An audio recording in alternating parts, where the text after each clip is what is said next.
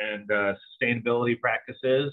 Um, the session will be recorded for future reference. Um, if you'd like to mute your cameras, most of you have, that's fine. Um, and then as we go through the session today, if you have questions, you can either use the raise hand function or I will also be monitoring the chat. You can put your questions in the chat. Um, I would like to turn things over to our representatives from the city, Julaine Potter, Kevin Boyland, and Ben Huffing. Um, I will let them talk a little bit more about their particular areas of interest, but uh, we will go ahead and turn it over to them. Uh, thank you very much, the three of you, for being here, and it's all yours. Thanks.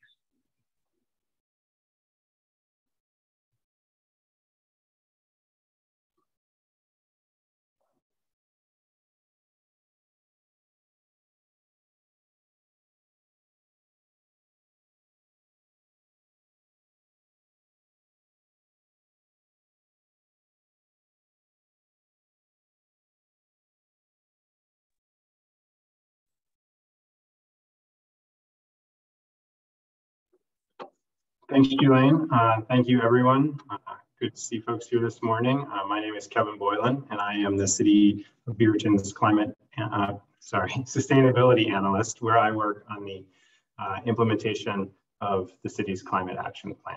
So food waste uh, fits into that quite nicely. So we're going to look at that this morning. Awesome. And hi, everyone. I'm Ben Hoffine. I'm the City of Beaverton's Business Recycling Outreach Specialist. Um, and I also help Julaine and assist her in a lot of the things she does with food scraps. Um, but my main role is helping businesses with waste reduction and recycling. All right, so I think I'm just going to take it away and I'm going to share my screen. Um, and if anyone does have any questions or uses the raise hand feature, um, or Rob or someone, if you can just kind of interrupt me and let me know because I can't quite see all the chat and everything well. Yep, got it for sure. We'll do, Kevin. So, um, so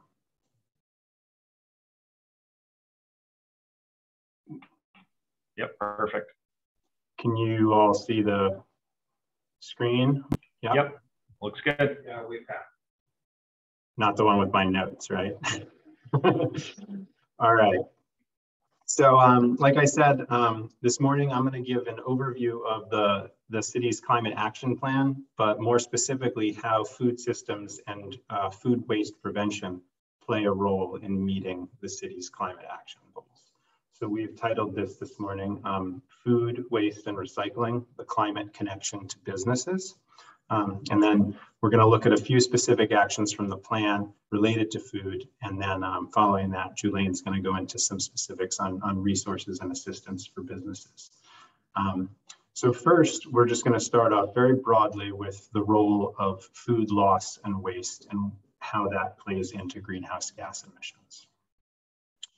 Um, so this picture here on this title slide that you see, um, it's not really about food waste, right? Um, it's not from Beaverton. It's not from Oregon. It's not even from the US. Um, it's a building that's in Milan, Italy. I, I chose it because I think it's a, a cool visual reminder of what's possible to accomplish through collaboration and coordination. It's, uh, it's not like an easy feat to hang a tree off of a, a 20 story building, or then to just go a step further and say, you know what, we're gonna, we're gonna cover the whole building. Um, but here we are, we see that it's completely possible in the picture. Um, so it's a stand-in for all of these things, these hurdles and these status quo approaches that we'll have to overcome as we address the climate crisis. Uh, people saying you can't do that because it's not in code or, or businesses will hate it or it's uninsurable or the folks living there won't adjust or there's too many maintenance costs. Um, all of these things can be overcome.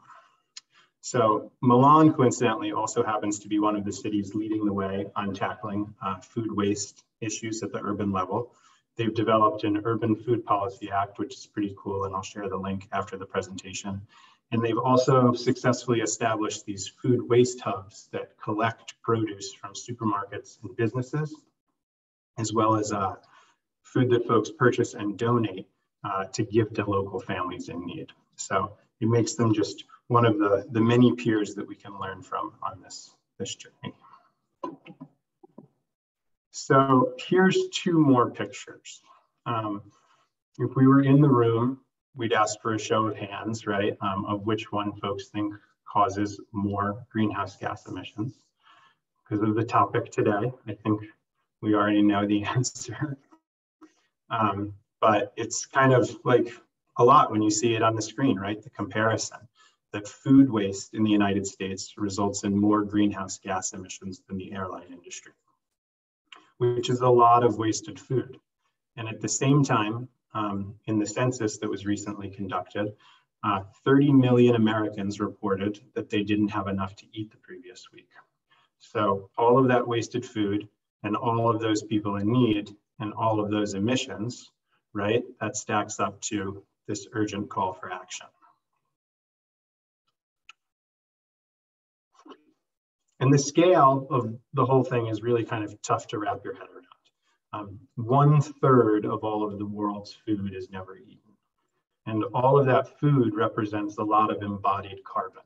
So you have all of these, these fields plowed for no reason, um, synthesizer, uh, synthesizer, fertilizer synthesized for, for no reason, um, water pumped, goods and labor transported all around, energy um, used all throughout this process, all for naught, for all this food that just winds up in the bin at the end of the day. So all of this kind of squandering of resources, right, generates a bunch of greenhouse gas emissions all along the supply chain. Um, and, then, and then that food goes to waste. Um, and that includes right up to when it decomposes in the landfill and continues to release more emissions. All of this means that the food that we waste is responsible for roughly 8% of global greenhouse gas emissions. Um, in the US alone, the production of lost or wasted food generates the equivalent of 33 million cars worth of emissions, um, which again is like a really abstract number, right? 33 million. Um, but just to put it into comparison, um, there's 15 million registered cars in the state of California, the largest state. So double all of the cars in California. And then all of the registered cars in the state of Oregon. And then you have around 33 million cars. Um, it seems like you can't uh, pick up your phone, uh, right? That's where we all read the paper now. You can't say pick up the paper. um, you can't pick up your phone without you know, hearing about EVs and how they're going to cut all of these emissions and everything. And yeah, they will. That's great. Um, but with this, this is we're talking about taking 33 million cars off the road just from doing something we should be doing anyway, right? Which is wasting less and disposing of things properly. Um, and that's what we're trying to do is cut emissions, right? So that's the way we limit the impacts is by reducing the emissions. And the best way to kind of get somewhere is to set a goal. So that's what the world did. And they came up with this 1.5 degrees Celsius goal, which is the goal to limit global average temperature increases. Um, and it's abstract and everything. It's in Celsius. It makes it hard to think about. On a global scale. So it's, it's hard for it to carry a lot of weight as a statistic, right? It's just easy to glance over. I saw this other statistic the other day that was 375 weeks. Um, and that's how long we have to have emissions in the hopes of actually meeting that global goal, right? And avoiding the worst. I say avoiding the worst because, you know, things aren't really going that great already. Um, we've, we've seen that there is this urgent need to act immediately and on all levels. And tackling food waste is so appealing on that because it hits so many of these different levels. It doesn't require any sort of futuristic technology and is something that we can, we can all do and will have a really big impact. So last year, um, the EPA released a report on the environmental impacts of US food waste and loss. Um, and it's got some pretty wild statistics in it. Um, I'm just going to run through them right here. 24% um, of landfill municipal solid waste is food waste. Um, all of that, that waste is enough blue water uh, for the annual use of 50 million American homes. It's also enough energy to power 50 million American homes for one year and has the equivalent CO2 emissions of 42 coal, coal-fired power plants um, and enough calories to feed more than 150 million people a year.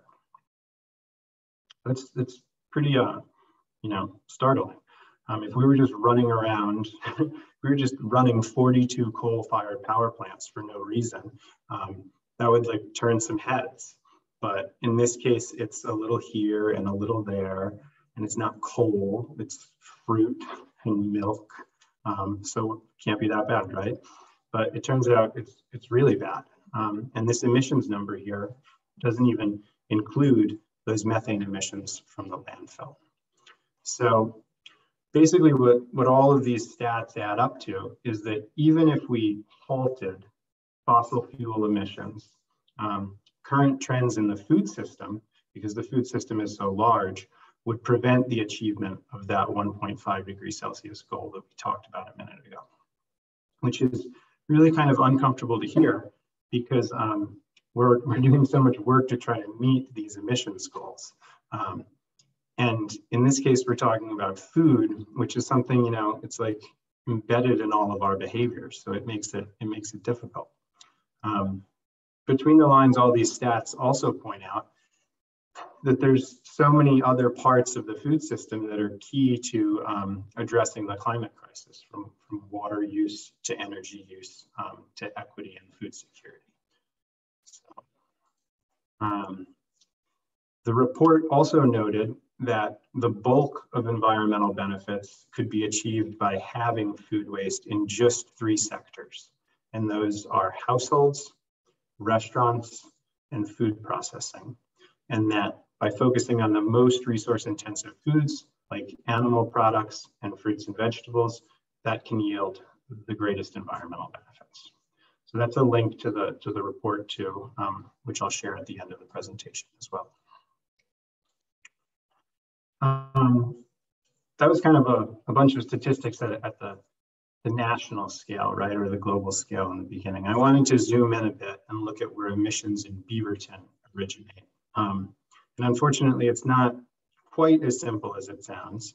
Um, the accounting all depends on how you count.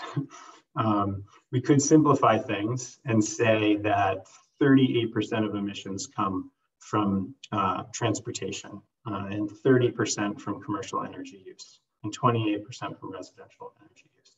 And that's all true, but today we're talking about food. So counting like that um, doesn't tell the whole picture. Um, it's not a bad picture, it's just not a crisp one because food cuts across all of those categories. So its emissions are dispersed throughout. So this is a complicated graphic that is just kind of for reference. You don't have to digest it all. Um, it's just to, to get at the point that nearly all food has emissions before and after its involvement with Beaverton. Um, and it's our consumption behaviors that drive those emissions. So if, if, if all of Beaverton decides not to consume something, that's gonna make a difference. Let's say um, everyone in Beaverton decided that they were not gonna consume coffee anymore um, or bananas, right? All of those um, emissions or, or lack of emissions from those products should be accounted for. And, and similarly, if everyone in Beaverton decided or committed to um, that they weren't going to landfill all of those bananas that went bad on their counter every week, um, that should be counted also. So this graphic here just shows how that, that type of consumption behaviors um, play into the state of Oregon's emissions. Um, so you could just think of this graphic on a smaller scale for Beaverton. I apologize that we don't have a city specific one, um, but maybe someday. So the point of all of this is that a big chunk of those emissions in Beaverton come from the consumption of things. Um, sometimes things are produced here, um, but a lot of times they're produced elsewhere on the right-hand side of this graphic, and then they're imported to Beaverton. But those are still Beaverton's emissions, right? And our behaviors are responsible for them. And what this means is that individual choices and behaviors overwhelmingly influence uh, consumption-based emissions globally. And this is particularly apparent with food, which is why we've, we went into this detail for this, this explanation. So in recognition of Beaverton's contributions to climate change, both as a community and as a municipal government, um, the city set out to develop a climate action plan. Um, and this was along with the growing recognition of the position that both cities and businesses are in to lead on climate action. Cities account for more than half the world's population, and they also contribute 70% of global carbon emissions. So they're a great place to start. Um, the city started the development of its climate action plan in 2016, and then it was adopted by City Council in late 2019. So if you haven't had a chance to look at it, you can find it at beavertonoregon.gov slash sustainability, and I'd encourage you all to, to have a peek. The plan, um, we're just going to go into a little overview of the plan here. It has two overarching goals.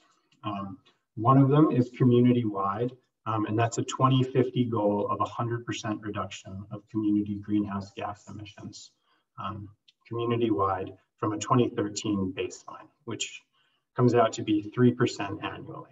Um, and the other goal is, is more focused on city operations, um, and that's a 2030 goal of carbon neutral city operations. Both of these are in line with the 1.5 degrees Celsius goal mentioned earlier. But neither of them can really be achieved in isolation, and they require the support, innovation, and persistence of uh, partners, businesses, and residents. Um, it's essential that we meet them or things will be pretty different in the future. The entire uh, BCAP, that's the Beaverton Climate Action Plan. So the entire BCAP framework includes 86 actions and they're distributed across five categories seen here. Consumer choice and waste, buildings, energy and urban form, transportation, natural systems, and community well-being. So food waste might not be, you know, explicitly called out in each of these chapters, but the connections to food and food waste are, are unavoidable in each of them. So just to kind of name a few, the consumer choice and waste chapter, that one's pretty self-explanatory given the title of it. It ties a lot to consumption and disposal of, of products, including food. Um, the buildings, energy, and urban form category, buildings are where food is, uh, is stored, where it's prepared, where it's eaten. So there's lines that can be drawn there to um, energy use around refrigeration, um, energy efficiency, and things like that.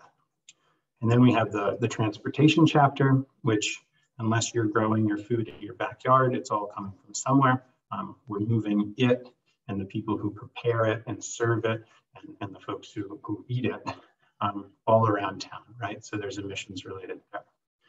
In the natural systems chapter, um, here we see an overlap with land use and water use.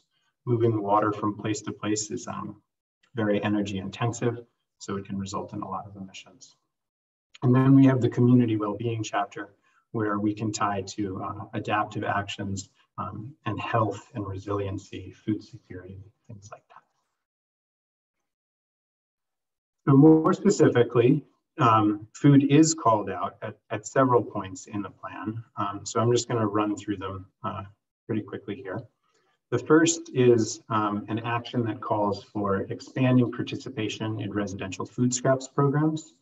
This is an action that includes education and outreach around food scrap collection um, through the uh, food waste collection bins and future efforts perhaps to address food scraps collection at multifamily properties, um, which would also include outreach resources and technical assistance to property managers and residents. And next is an action that calls for reducing residential and business wasted food um, this occurs through promotion of various campaigns, such as the Eat Smart Waste Less campaign, and um, now we have DEQ's Don't Let Food, Good Food Go Bad campaign, along with um, other capacity building resources for businesses um, as part of the, the Food Waste Stops With Me initiative. Another action in the plan calls for increasing business participation uh, in food donation and food scraps collection. So this includes working with local businesses to help set them up for compliance in the upcoming mandatory food scrap separation requirements, which Julaine is going to dive into in a minute. Um, and then another action is prioritizing the recovery of items with high environmental impact. This action is kind of broad and overlapping, but I mention it here um, specifically because these efforts to focus on food and it's reflective of the high impact of food waste on emissions. And then finally, this last one down here from the community um, well-being chapter is expanding local food security and emergency distribution plans, prioritizing the needs of vulnerable populations. And this is less focused on emissions reduction and uh, much more on, on an adaptive scale and resiliency action um, that currently occurs by, by working closely with organizations to increase food donation.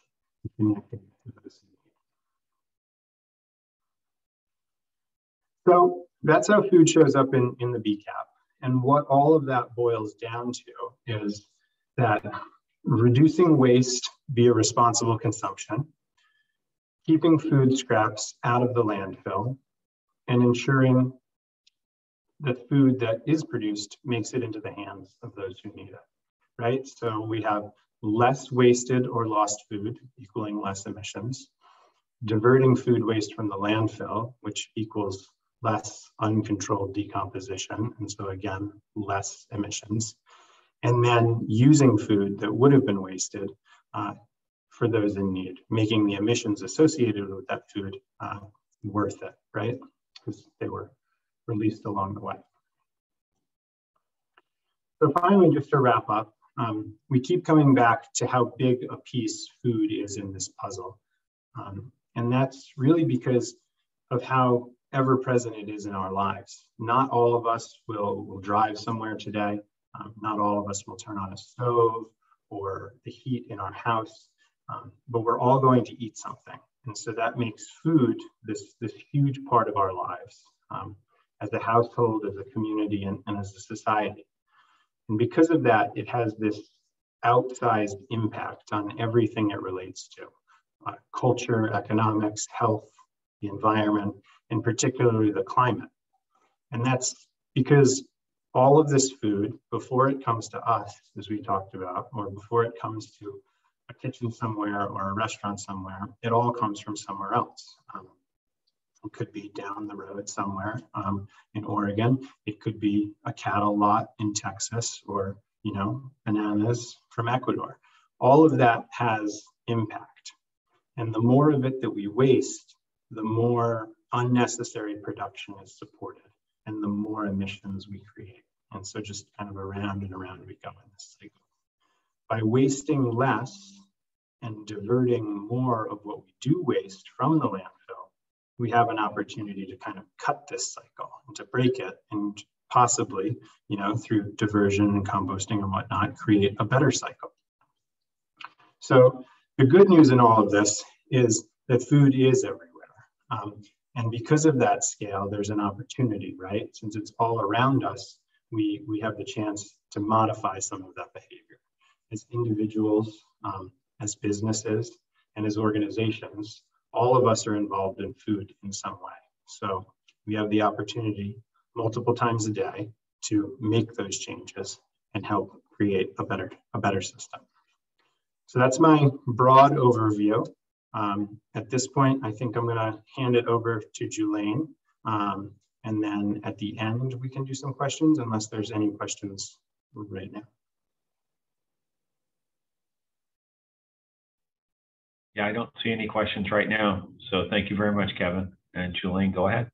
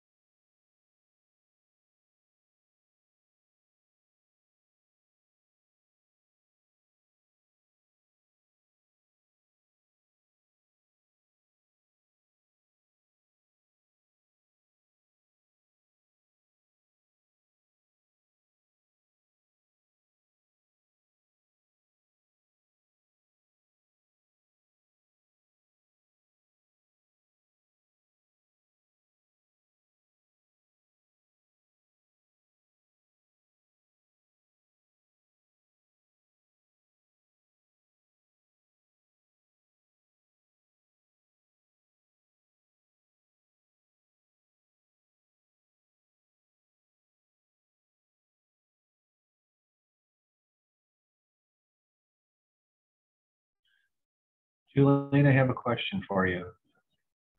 So we have several of our, our clients that are run childcare businesses, daycare centers, and wondering if they fit in the, most of them would fit in the small business category, or are they not on the list of being regulated?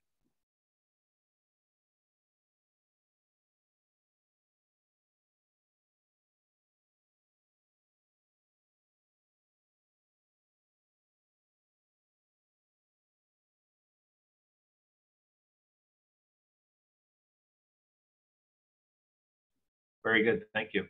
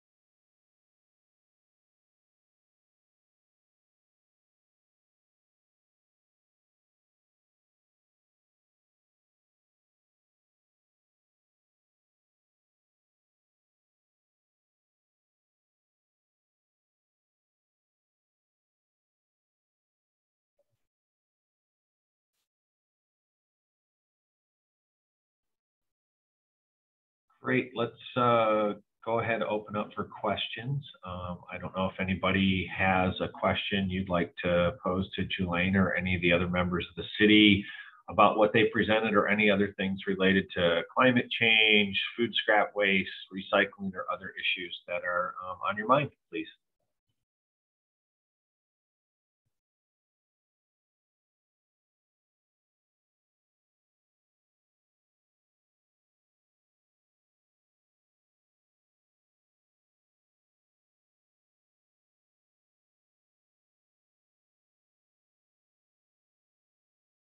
Um, so my name is Gloria. Thank you for this for this information. It's really important.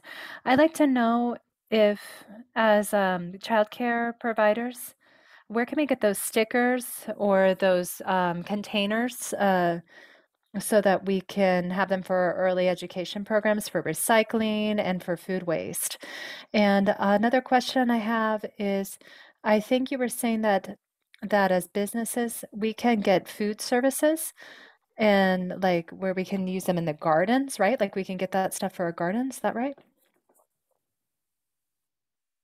I apologize. I um I did not catch the first part of that because I didn't have my translation on. I'm so sorry. I just heard the last part about compost for the gardens. Um, I think I think I can answer, Julaine. Oh, Uh, great. Perfect. Thanks, Ben. So, in terms of getting uh, resources from us, you can either come in directly. Though I would I would uh, suggest that you email one of us, um, and we will be able to, once we get your address um, and your contact info, be able to bring the resources to you, um, and we can talk further over email. I mean, I don't think we have we don't have a slide for the pamphlet of the resources that we have, um, but that is something that we can easily do over email um, for resources. Did that I did I answer all the question the the full question? I may have missed something. Second half of the question, I think, was about um, supplies or being able to use some of the, I, I assume, I think it was about the compost. I don't know. Maybe we could elaborate on the question a little bit. Um, Oh, what type of containers do you do we need or that you have so that people can collect food where it goes to, you know, so it can decompose, so it can turn into fertilizer, tur- because it, um, we know we're small businesses as uh, childcare uh, businesses, so we create a lot of garbage throughout the week. So where can we get those types of of containers? Um, so if you are wanting a container to scrap to put in your yard debris cart, take away to a facility, we have different options. We have a countertop uh, container. Um, I don't have here that's for households, and, and then we have the green, the bucket, and then the tall one that we're showing on the slide. If you're referring to a container that you can create compost in your garden, we don't supply those, but I can direct you to where you can find them.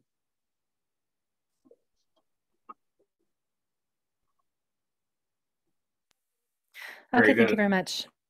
And the best way to reach you, Julaine, or get just just to the email that's on the screen. Mhm. Probably the best way to get a hold of you. Perfect. Yeah, definitely.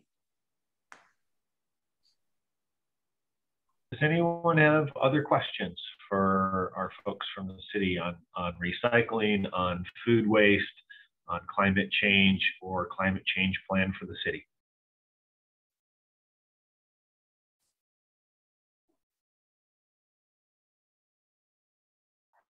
I have some questions and some some suggestions because you were saying what are the fossil foods and why are, you know, um, you're talking about um, equity and and equality, you know, but why aren't you giving these um, you know resources to micro and small businesses, as uh, teacher Gloria mentioned?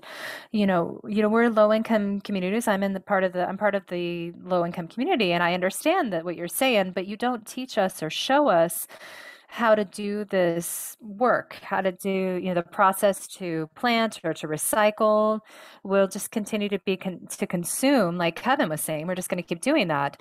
So we have to educate ourselves and we have to be disciplined. But first of all, you have to show us what to do.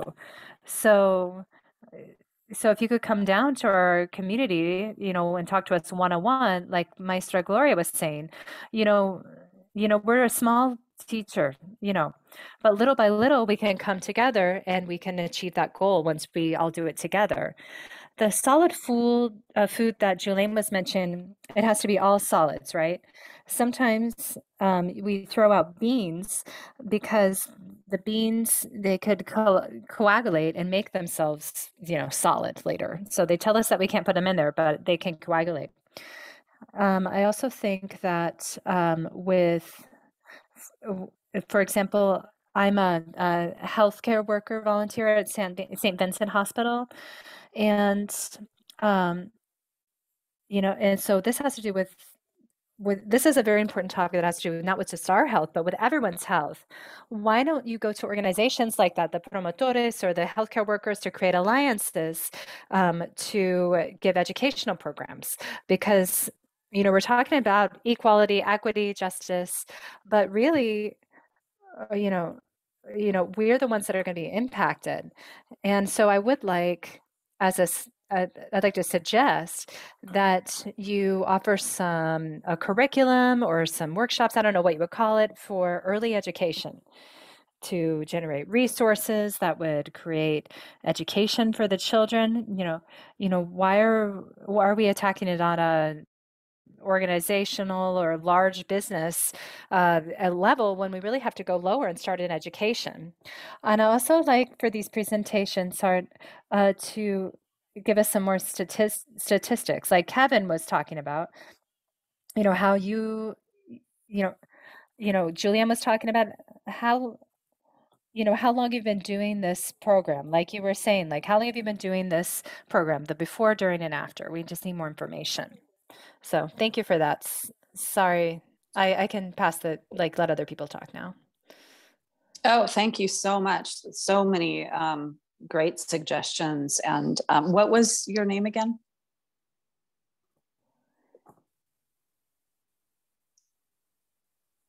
Leticia. Leticia. Thank you so much, Leticia. So, um, first of all, education is absolutely so crucial and important. And um, we would be happy to come and talk to um, any groups or businesses. Um, there, so Metro has um, a, a, department. They actually have folks that do education in our K through 12 schools, um, as well as other um, various opportunities for them to come out and present. Um, but we're happy to do that as well and we want to do that. And you're right that's kind of what we're looking at. The focus of our programs have really been on larger businesses because larger businesses make more of an environmental impact. But we're starting to really recognize that everybody makes an impact and the issues with climate change uh, impact uh, our our BIPOC communities even more. And um, so we really need to have everybody um, included in the conversation. And um, so please reach out to me. I would love to talk to you not only about providing education, but also connecting with the healthcare workers. Because um, yes, again, you know, food is um, it's it's crucial for health and vitality in our communities, and they're and there's there are other things happening in the county that I think you know it would be great to um, to talk to you about that. This is y, great feedback. Go ahead. Sí, sí. Y Jose, tienes una pregunta. Jose has his hand raised. Yeah, um, my name is Jose David Hernandez. I and I have a, a cleaning business. It's a small business, and I would also like, um, well, to um, make a proposal. So unfortunately, their papers or cartons that said that this is compostable or it's not compostable, and you. So then when we go, they say, "Oh, um, you have to separate everything that's compostable," but you know, people don't do that.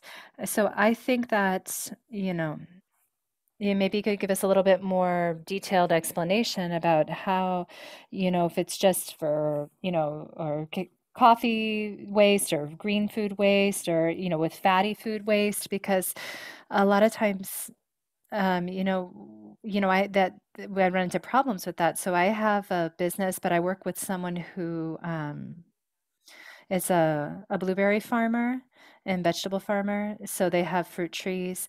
So we work on all that and we see that a lot of organizations or companies uh, bring things out to compost, but a lot of them don't because it doesn't work um, because it has fats or grease.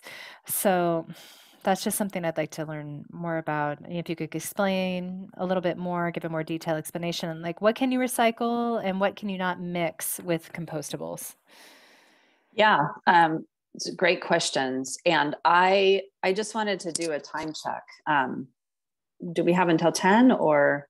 Yeah, we have until 10 o'clock. Yeah. Okay, so uh, these are such good questions, and I just I would love um, to be invited back. Um, and I have some other colleagues that work specifically on our residential and um, and multifamily programs too. And we could come back and do a, a presentation on kind of the broader program um, and uh, and also get into more details in on the recycling program because um, that is a little more complicated of what goes in and what doesn't.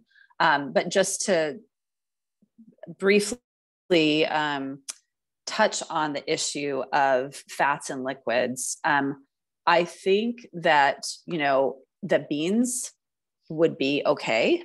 Um, it's they just you know they don't want you pouring a whole bunch of milk in there and they don't want a whole bunch of grease going in there. But if it's a food product that has some liquids in it that's okay. Or if you have a small amount of um, something you know dressing that will go in and be mixed with other things. Um, and then you know as far as grease goes that that is an issue. There are companies that can come and pick that up. They're rendering companies. They come and pick up meats and grease greases from restaurants and grocery stores. Um, so that's something that you could look into. Um, again jose please feel free to uh, reach out um, and we can talk about uh, specifics and also our website does have a lot of really good information on what is recyclable and what isn't.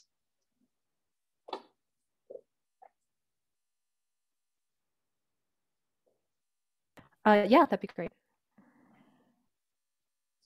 Thank you, Julaine. We have time, folks, for one or two more questions. Does someone else have another question?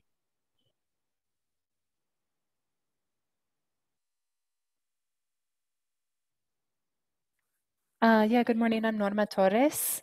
I'm listening to the questions and um, the information that you gave us really is is really good. It's really interesting. It's really important. And um, yeah, definitely, I agree with the people who were saying uh, that that you know working more on this aspect, you know, this um, commitment to know how to work with with trash. Um, it's a it's a really important topic, and uh, you know we also you know process so many animals and and we just don't take care when it comes to that. So right now. Um, so this is you know hearing about this topic i really do think that you know I wrote my comment down uh, that uh, you know we don't have a lot of uh, dissemination of this information, uh, even just at homes, residential places with with um, you know, especially talking with our children. It's important, but it's also important for adults. Um, you know, sometimes we just don't have knowledge about all of this. So I would just ask that to spec- that you specifically work to reach more families, more households, and so that they can make that real commitment and so that they know how to recycle their trash well. So thank you so much. Thank you.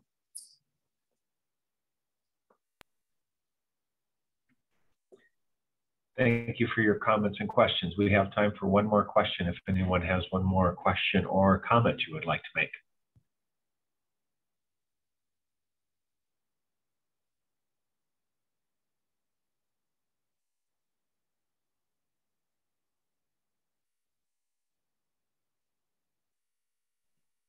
Okay, so I don't see another question. Um, I would like to thank very much Julaine and Ben and Kevin for joining us from the city and sharing information and answering everybody's questions.